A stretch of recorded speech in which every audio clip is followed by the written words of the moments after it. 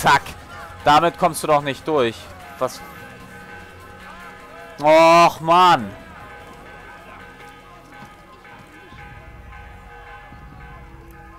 So, ich werde beobachtet, aber von wo? Ach, von da unten.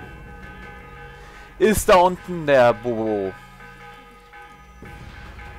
So. Hopp. Egal. Habe ich eben hier so einen Synchronisationspunkt verloren. Aber dafür sind wir angekommen. Jetzt lassen wir uns hier noch runterfallen und voila. Wir sind da. Die Kunde eures Erfolges kam mir zu Ohren. Abul Nukuts Tyrannei wurde beendet. Schön, das zu hören.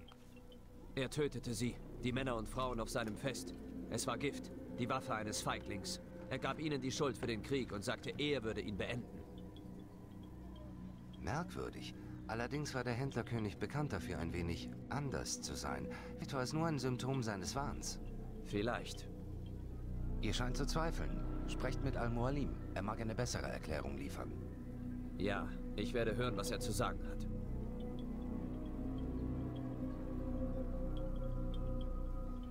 Spule vor zum aktuellen. Jawohl, damit haben wir das hier geschafft und wir können zurück nach Masyaf.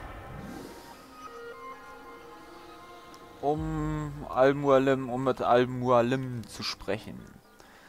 So, würde ich sagen, spulen wir mal vor, bis wir da sind. Und dann kann ich an sich schon gleich schon wieder ruhig sein, weil ähm, Dings, Al-Mualim gleich nochmal spricht. Deswegen bin ich jetzt schon mal ruhig. Sprecht mit mir. Wie ihr wünscht. Die Kunde eures Erfolges ist zu mir gedrungen. Ihr habt meinen Dank und den des Reiches. Die Städte von ihren korrupten Führern zu befreien, wird dem Frieden sicher dienlich sein. Seid ihr dessen so sicher? Die Art, wie Männer herrschen, spiegelt sich in den Beherrschten wider. Als ihr die Städte von Korruption befreit habt, habt ihr auch die Herzen und Gemüter des Volkes befreit. Unsere Feinde würden widersprechen. Was meint ihr? Jeder, den ich erschlug, berichtete mir merkwürdige Dinge. Sie zeigen keine Reue. Auch im Tode scheinen sie an ihren Sieg zu glauben. Auch wenn sie es nicht direkt zugaben. Sie standen alle in Verbindung. Ich bin ganz sicher. Es ist ein Unterschied zwischen dem, was man uns als Wahrheit verkauft und dem, was wir als wahr erkennen. Die meisten kümmert dieser Unterschied nicht. So ist es einfacher. Aber als Assassine liegt es in eurer Natur, ihn zu bemerken, ihn zu hinterfragen. Was ist es, das diese Männer verbindet? Ah, aber als Assassine ist es eure Pflicht, diese Bedenken zu verwerfen und eurem Meister zu vertrauen. Denn es kann keinen Frieden geben ohne Ordnung. Und Ordnung erfordert Autorität. Ihr sprecht in Rätseln, Meister. Ihr empfehlt mir, aufmerksam zu sein und bittet mich dann davon abzusehen. Was von beiden? Die Frage ist dann beantwortet, wenn ihr sie nicht länger zu stellen braucht. Ihr liest mich wohl nicht nur für eine Lektion herrufen. Nun gut. Ein weiterer Rang und eine Waffe werden euch zurückgegeben. Zwei Führer sind noch übrig. Geht und sorgt dafür, dass ihre Herrschaft endet. Alles klar, dann wollen wir mal sehen, was wir dazu bekommen haben wieder. Eine DNA-Synchronisation und so wie es aussieht, neue Stiefel. Mal schauen, was wir damit für eine Fähigkeit bekommen. Balance halten und ausweichen. Oh ja, Schwertmeister, Schaden. Oh ja, mehr Schaden. Mit dem Schwert richten wir jetzt an wohl. Aber an dieser Stelle werde ich erst nochmal unterbrechen, da, wie schon erwähnt, dieser Fenstermodus wieder aktiv wurde. Bis gleich. So, und damit hallo und herzlich willkommen zurück zu Let's Play Assassin's Creed. Ich habe das Spiel gerade neu gestartet, wegen weil Fenstermodus und es geht jetzt direkt weiter zur nächsten Mission. Nein, noch nicht ganz. Oh, da hinten sehe ich eine Flagge. Aber erstmal geht's hier noch ans Üben. Ja klar. Jetzt geht's hier nämlich ans Ausweichen.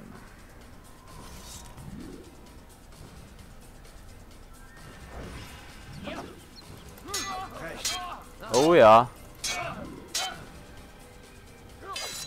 Oh. Das hat nicht so ganz geklappt. Mal schauen. Ja, da kann man dann ganz gut, ähm...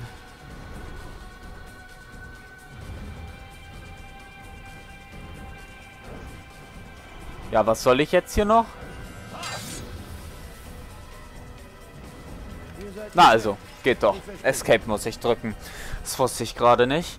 Ja, alles klar, jetzt haben wir Ausweichen gelernt, aber ich denke, ich werde eher ähm, kontern als zu auszuweichen. Ist ja schließlich besser noch ein bisschen Schaden reinzudrücken. Und jetzt würde ich sagen, geht's erstmal nach Jerusalem. Denn wenn ich es richtig im Kopf habe, hatten wir Damaskus, Jerusalem, Arkon. Arkon hatten wir zum Schluss gemacht. Deswegen geht's direkt nach Jerusalem ins Büro. Und wir erledigen, wen wir auch immer dort erledigen müssen. Verraten.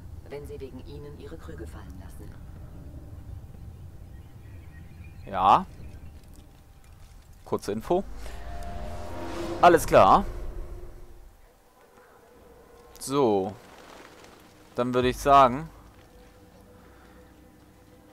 geht es erstmal hier ans Informationssammeln. Und um Informationen zu sammeln, brauchen wir erstmal einen Aussichtspunkt. Den markiere ich mal eben und dann machen wir uns auch direkt auf den Weg. Was ist das überhaupt? Das ist das Armenviertel, in das wir jetzt kommen. Und wir sind gerade im Nobelviertel, ne? Ja. Genau. Dann würde ich sagen, ist nicht mehr weit. Sollte schon in Sicht sein eigentlich. Oh. Uiuiuiui. Schert euch davon. Uiuiuiuiui. Gibt es einen Grund für diesen Schabernack? Weiß ich nicht. Gibt es das? So. Ab nach oben wieder hier, Alter, hier. Seltsam. So. So komme ich wieder hoch. Bin ich da runtergefallen. Hä? Ist es nur die Brücke da förmlich? Ist wahrscheinlich scheiße hochzukommen letztendlich. Uiuiui. Ja. Aber hier komme ich rüber und dann komme ich hier hin. Und da haben wir eben schon gehört, Bürgerrettung. Da wurde wieder jemand als Dieb beschimpft, ob nun gerechtfertigt oder nicht. Wir töten trotzdem die Wachen, die das tun. Ah. Aber erstmal genießen wir hier die Aussicht. Ich glaube, das ist so ziemlich der niedrigste Aussichtspunkt im Spiel. Mir fällt jetzt...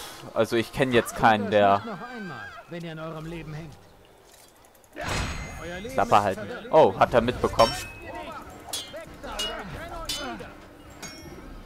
So, weichen wir mal aus und... Oh, starker Angriff.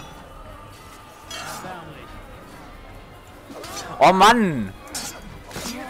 Wie ich das nicht mitbekomme. Na, zack. Man merkt schon, ich mache die wesentlich schneller fertig. Oh, der wollte auf... Oh.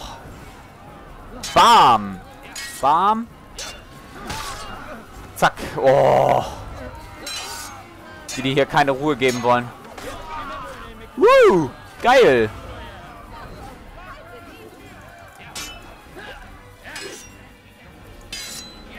I! Ist er durch meine Deckung durchgebrochen? Ja, Junge, jetzt, jetzt! Da kann ja nichts draus werden. So, wo haben wir denn hier noch? Bürger retten. Ach, ist alles auf... Ist hier gar nicht in der Nähe. Ist hier, ne? Uh, sind schon ein bisschen mehr jetzt.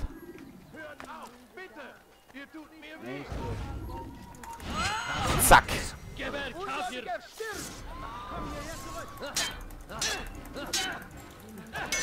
Oh, gekontert. Was für eine Frechheit von dem.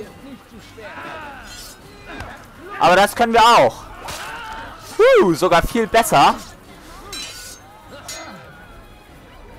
Bam, die, die normalen Wachen haben jetzt praktisch gar keine Chance mehr gegen uns.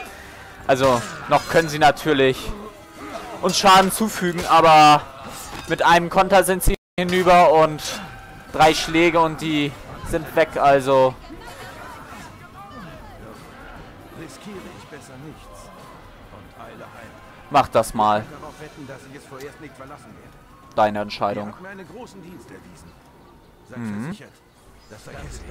Oh ja, und wir haben Gelehrte. bekommen. So, ich würde mal sagen, das da ist der nächste, oder der am weitesten im Süden ist. Ihr wollt mir nichts Böses, ich weiß. Aber seid trotzdem... Suchen wir doch erstmal... Äh? Was geht ab? Also gut, wo bist du? Schieb ab. Wer hat mich denn jetzt schon wieder hier gesehen? Ach da.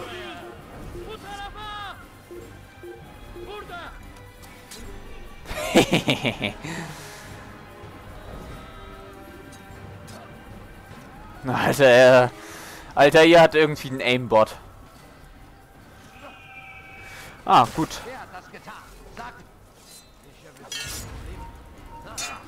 Bam, bam und zack. Schön.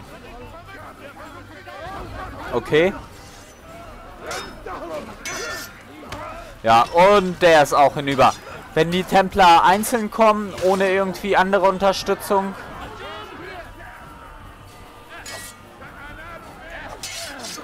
Dann ist das natürlich kein Problem, gegen die zu kämpfen.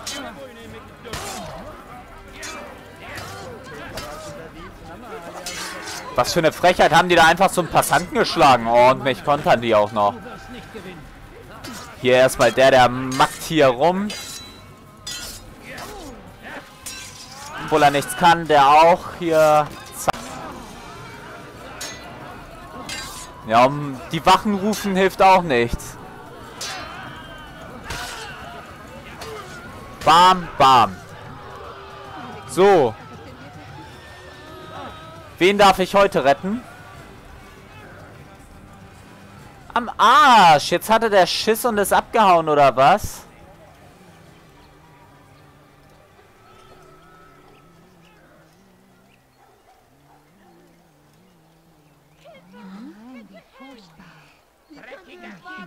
Ach komm.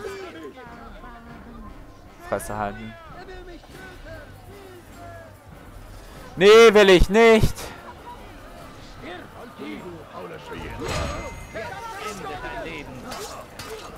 Deines zuerst. Ich danke. So, geht doch. Tja, vielen Dank.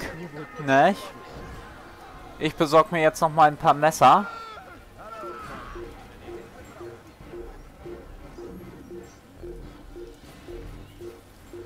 Alter, wer denn jetzt schon wieder hier? Ach, da kam der runter. Bam, bam, bam.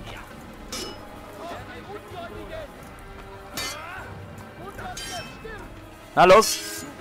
Alter, kontert er mich aus hier. Wow, aber dann geht der Templar auch hier gleich richtig ran, ne? Haha. Noob.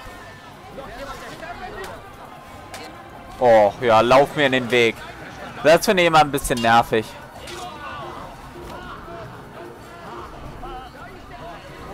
Och, Mann, ey. So. Ruhe! Ruhe hier!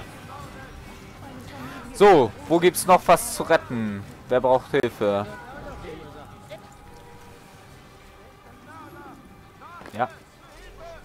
Nein, den möchte ich nicht anvisieren. Hä, auf dem Dach?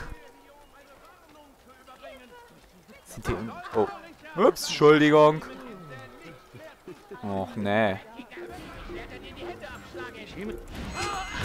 Zack. Alter, wie ich hier wirklich einen Templer nach dem anderen treffe. Am Arsch. Och Mann. Die mal mit ihren starken Angriffen. Da konnte ich immer zu früh.